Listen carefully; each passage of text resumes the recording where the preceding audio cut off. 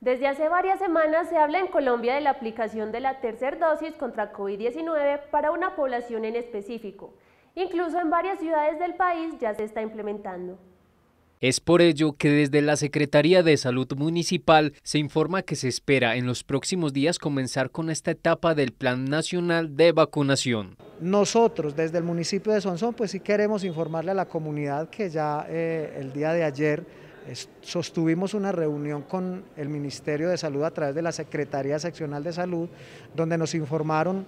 sobre la eh, efectiva mm, propuesta que tiene el gobierno de empezar con esa aplicación, pero que todavía no tenemos las vacunas. Esperamos y nos dicen que el gobierno nacional en los próximos días estará entregando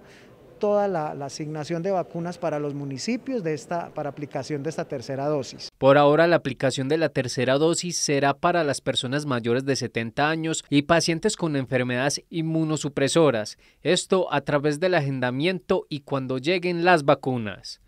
Aspiramos a que antes del 15 de octubre ya tengamos información para comenzar eh, e, ese agendamiento, porque claro está, tenemos que iniciar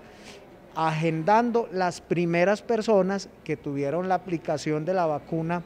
que recordemos que el Plan Nacional de Vacunación empezó con unas fases y unas etapas, entonces todas estas personas se comenzarán a agendar, a llamar, sea por eh, agendamiento en el punto de vacunación o mediante también lo que hemos realizado en el municipio de Sonsón que nos ha servido y tiene que ver con las campañas o jornadas de agendamiento de aplicación de vacuna eh, para toda la población que aplique para esa, esa vacuna. Además de la edad, y si se padece de alguna enfermedad inmunosupresora, otro requisito es tener más de 180 días de haberse vacunado con el esquema completo, es decir, las dos dosis. Yo no puedo pretender que si me vacuné hace tres meses, pues que me voy a aplicar la tercera ya, si soy un adulto mayor de 70 años, porque tampoco va a haber la disponibilidad de vacunas. Así como ha venido desarrollándose y se ha venido ejecutando el Plan Nacional de Vacunación,